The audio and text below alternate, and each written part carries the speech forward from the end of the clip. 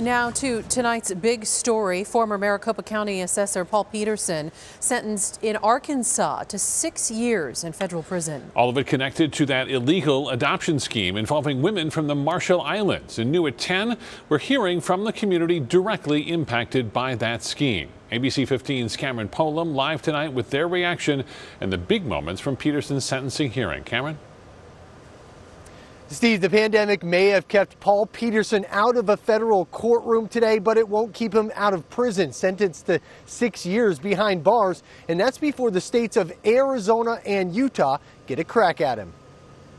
It is the judgment of this court that you are to be committed to the custody of the United States Bureau of Prisons to be imprisoned for a term of 74 months. A federal judge sending the former Maricopa County assessor Paul Petersen to prison during a virtual hearing Tuesday, part of a plea agreement related to his fraudulent adoption scheme involving pregnant women from the Marshall Islands being illegally brought to the U.S. to give birth and adopt out their children to American families. He subverted um, what should be a joyous time for everyone into a baby selling enterprise. Prosecutors have said Petersen paid the women up to $10,000 to come to the United States, where they were crammed into houses or small apartments to wait to give birth illegally on the taxpayer's dime.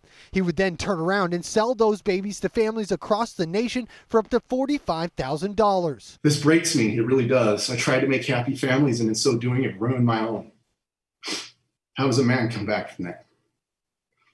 That's why I say there's nothing you can do to me, no sentence you can impose that can make me feel worse or punish me more than being away from my children and my family and my friends. Those in the Marshallese community don't buy those crocodile tears. I was actually pretty shocked.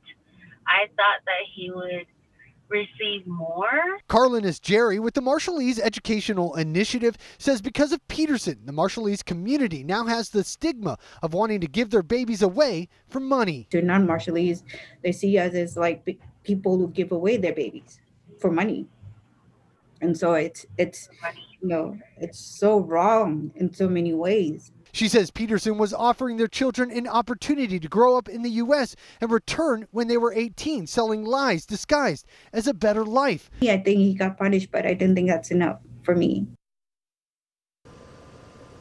Now, along with jail time, Petersen will have to attend an alcohol program and pay a $100,000 fine. He's expected to be back in court in Arizona and Utah for sentencing on state charges in those states in January. I'm Cameron Polom, ABC 15, Arizona.